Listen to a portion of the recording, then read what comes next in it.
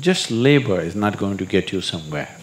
Right kind of action, the right timing, right place, all this is important, isn't it? The events around you may not be determined by you, but how your experience of life is on this planet is one hundred percent determined by you. Believe me, you're not going to be here forever. I'll bless you with a long life, but you're going to fall dead one day. If you're beginning to think that what you're doing is very important, you need to take a holiday. You cannot fight or you cannot overcome that which does not exist. We have fixed too many things on the outside. If you fix any more, there won't be a planet left. He's an Indian yogi, mystic, philanthropist, and author. He founded a non-profit organization which offers yoga programs around the world. He also founded Project Green Hand, a grassroots ecological initiative in India. He's Sadhguru, and here's my take on his top 10 rules for success. My personal favorite clip is number seven, so I'm curious to figure out which one you guys like the best. Effort has to be incisive in the sense it should be focused, calibrated. Simply if you make effort, it's foolish effort, isn't it? Just labor is not going to get you somewhere. Right kind of action, the right timing, right place, all this is important, isn't it? So, for all these things to happen, you need perception and intelligence. So that's all you must do in your life. Constantly looking for ways to enhance your perception and your intelligence. Rest will anyway happen. This is one thing that unfortunately humanity is not doing. They're trying to become capable of something. Do not try to become capable of something. Just enhance your perception and intelligence. Can you see me right now, all of you? Can you see me? Just point out where I am. Use your hands and point out. Can you see me? Oh, you got it wrong. You know I'm a mystic. You're getting it completely wrong. Now, this light is falling upon me, reflecting, going through your lenses, inverted image in your retina, you know the whole story, right? Where do you see me right now? Within yourself. Where do you hear me right now? Within yourself.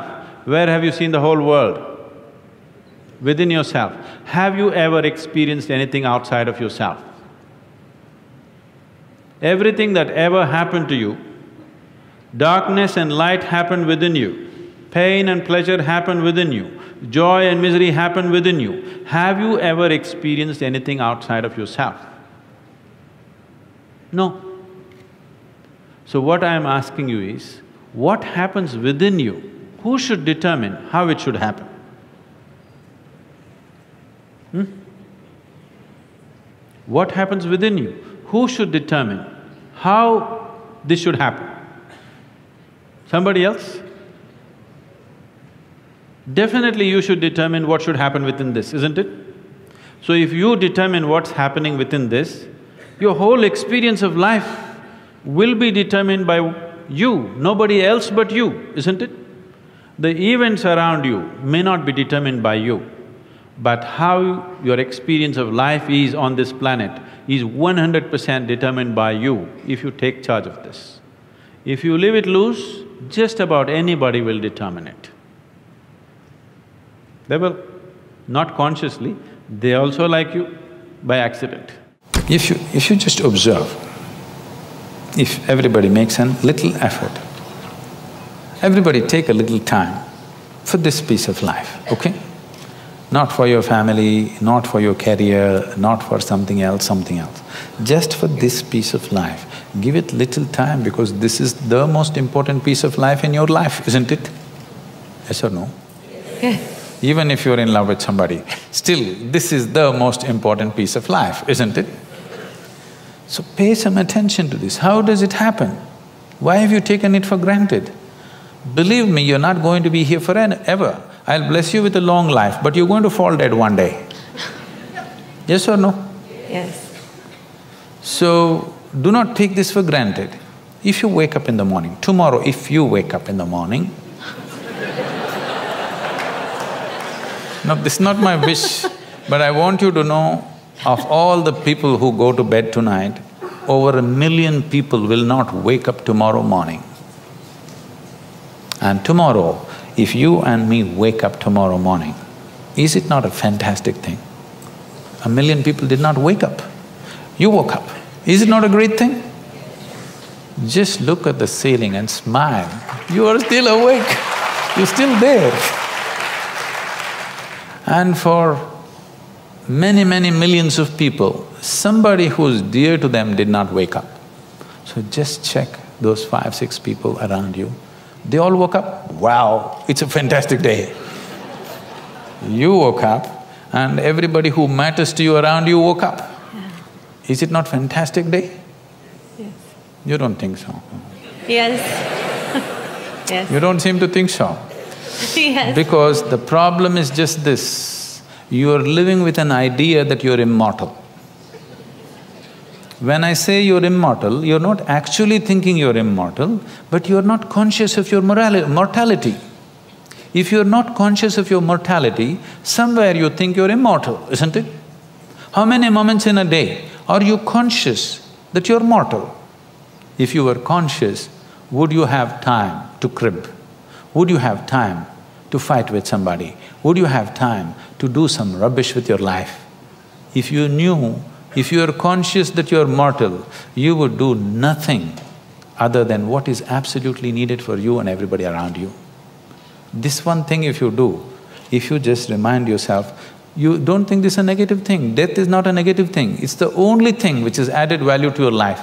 If you're here forever, you would be unbearable. yes. Isn't it? Aren't we glad everybody dies one day? if you just become conscious of this one thing, that always you're conscious that I'm mortal. You don't have to think, I will die today, we don't intend, we want to live as far as possible. Just you know, one day I will die. If you're just conscious of this one thing, you will naturally become spiritual. Every day, every moment, if you remind yourself, this is a brief life, I'm mortal, one day I will end. Just do this for two days and see, you will become something truly fantastic within yourself, just this is all. That is simply beautiful. That's all that's needed. If you want to know the value of life, just know that it's a brief happening. Just loosen up your life a little bit, laugh a little more, involve yourself with people around you, do things that you think is not so important. Don't do things which are very important. Do simple things. It's very important you do simple things. Very important things you're doing in your life, you will become dead serious. You know Bertrand Russell, an Englishman. Bertrand Russell said, if you're beginning to think that what you're doing is very important, you need to take a holiday. So holiday does not mean coming to India. Holiday is every day, in those twenty-four hours, you must take a holiday from your seriousness. From yourself. seriousness has come essentially because of your self-importance. You hold yourself as an important person. I want you to see you are like a speck of dust in this existence. Tomorrow morning if you disappear, for sure in India nobody will miss you. Even down under, they won't bother much, you know. A handful of people, they will also forget soon enough. Isn't it so? Oof! Nature does oof, you're gone. And nothing will happen in this world, everything will happen wonderfully well even if you're not there. Every human being should be aware of this every moment of his life. It does not matter what the whole world says about you. It does not matter how significant a work you're doing. You must understand that tomorrow morning the world will go on fine without you. Whoever you may be. Isn't it so? If you constantly remind yourself of this, you'll have no reason to be serious.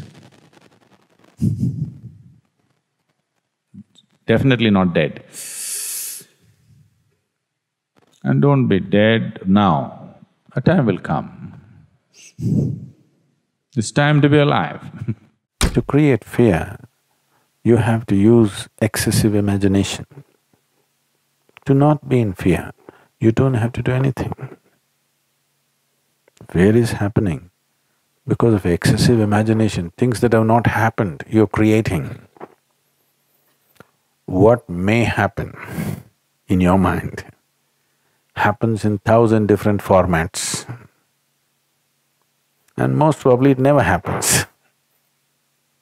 The things that you feared, take hundred things that you have feared, probably ninety-nine of them never happened, isn't it?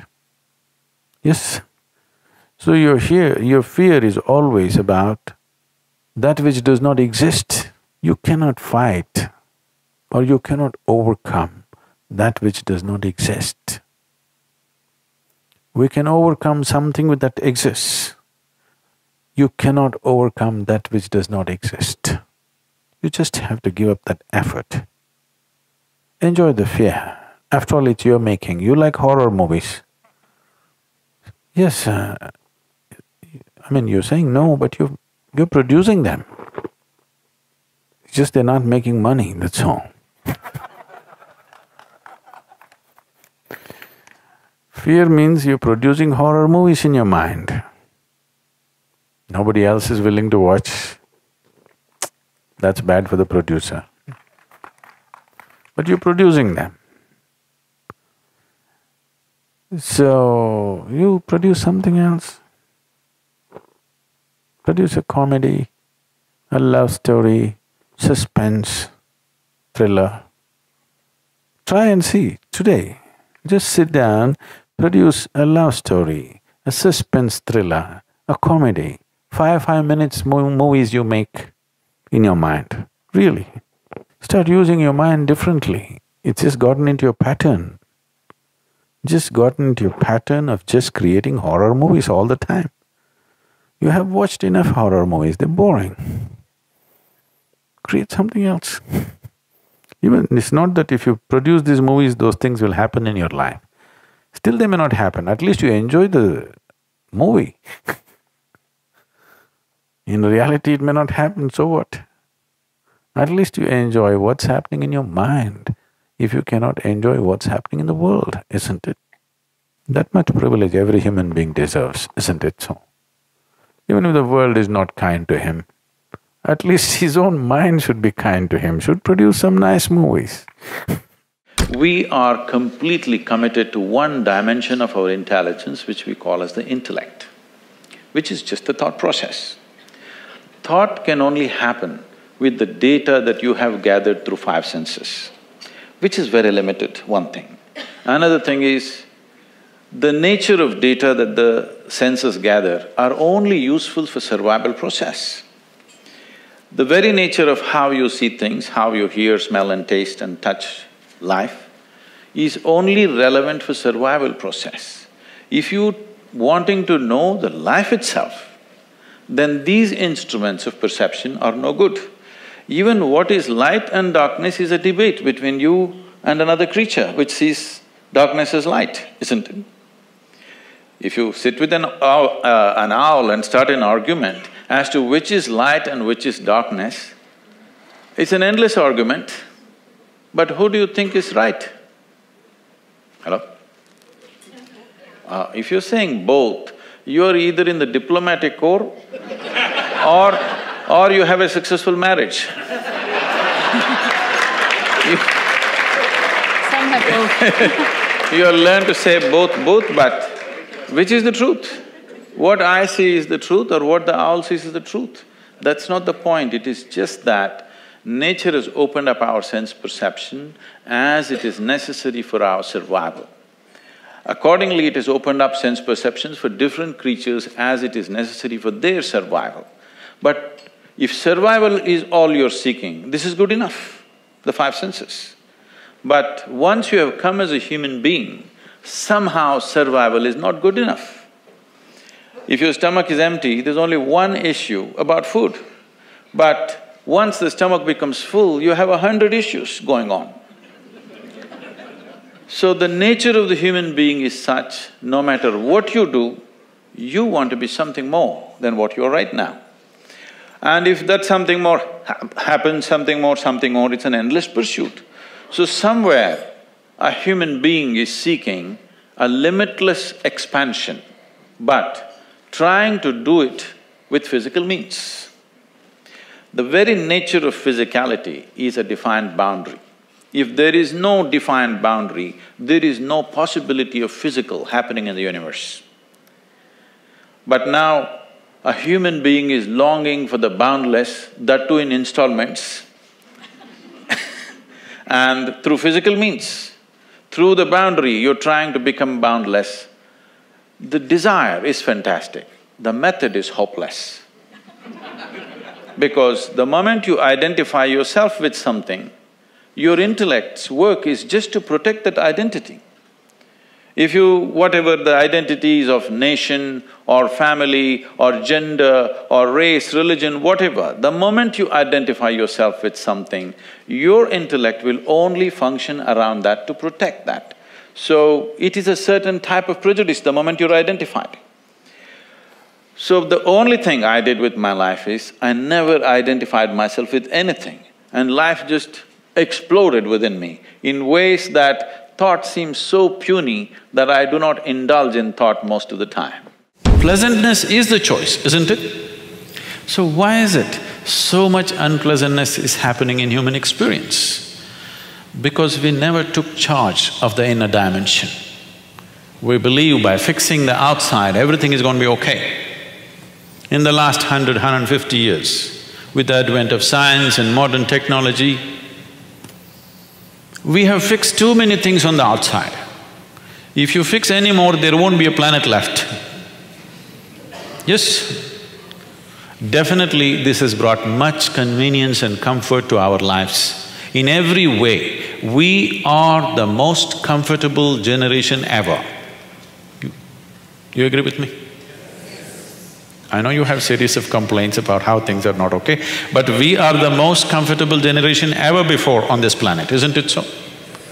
But we cannot say we are the most joyful generation on the planet, we are the most loving generation on the planet, we are the most blissed out generation on the planet, definitely not.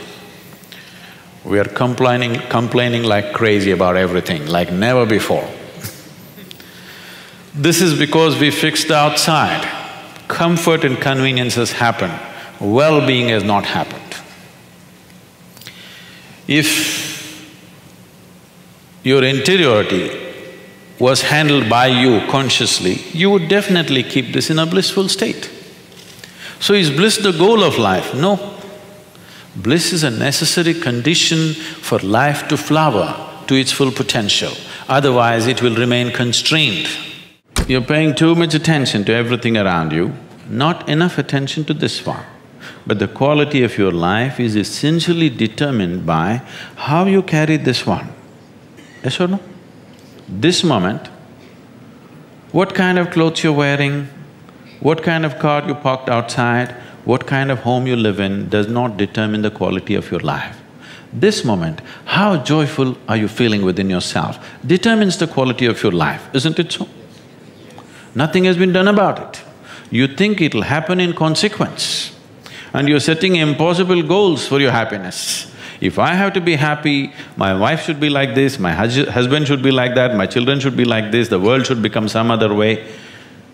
Well, these are impossible conditions you're setting for your happiness and peacefulness.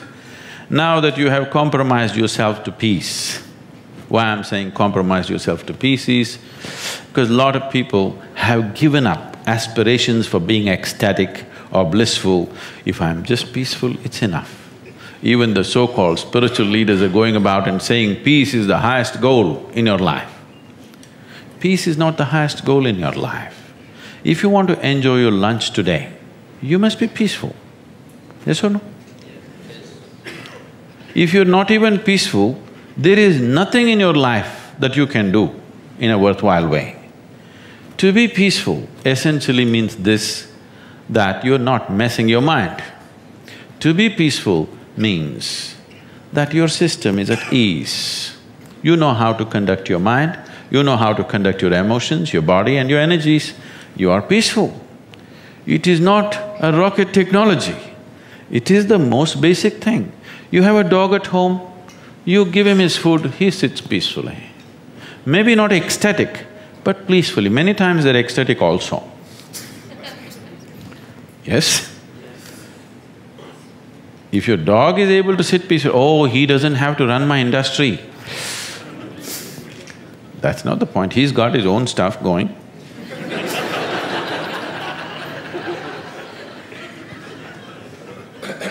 See, it has nothing to do with the external activity that you're doing.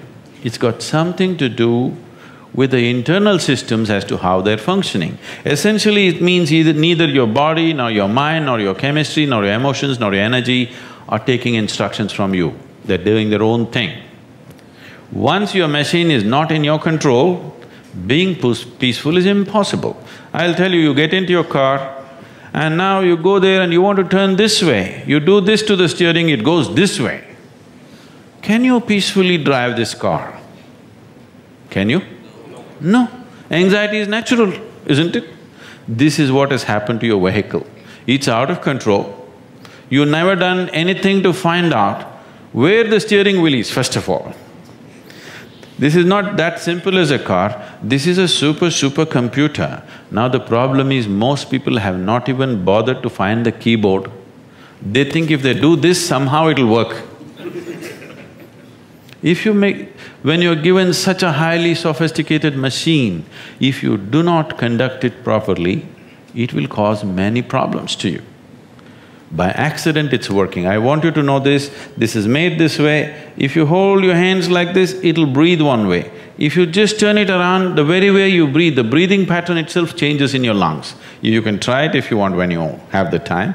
This way, this way. I'm saying everything that you do, fundamental changes are happening in this machine because it's such a sophisticated machine. It's more than a touch screen. If you just wish it, it will happen. When you have such a sensitive and sophisticated machine and you are operating like a blacksmith, then being peaceful seems to be difficult. Peace is not the highest goal in your life, it is the most fundamental requirement. Don't ever set peace as the highest goal. If you do that, you will only rest in peace. you must see, to be peaceful is the first thing in your life, isn't it? If you want to do anything sensibly in your life, if you want to do… conduct any situation in your life sensibly, to be peaceful and happy is fundamental. Unfortunately, in many ways, not just in the way that I said now, in many different ways, I would say seventy percent of illnesses on the planet, all kinds, are self-created. Even if you get an infection, there is a way. If you keep yourself in a certain way, physically and mentally, the virus and the bacteria will not work the same way as it works upon somebody else. If you set yourself like this, no matter what's happening, anyway, I have to go and do this, this and this. There's no break from that. The last twenty-nine years, I have not been able to cancel one program because I'm running temperature, I got a cold, I got this, I got that. It doesn't matter what's happening, what you have to do, you anyway have to do. You can't turn back on that. Either out of your commitment or you have a boss like that. One or one way or the other, if it happens, then you will see, you will not at all fall sick so often.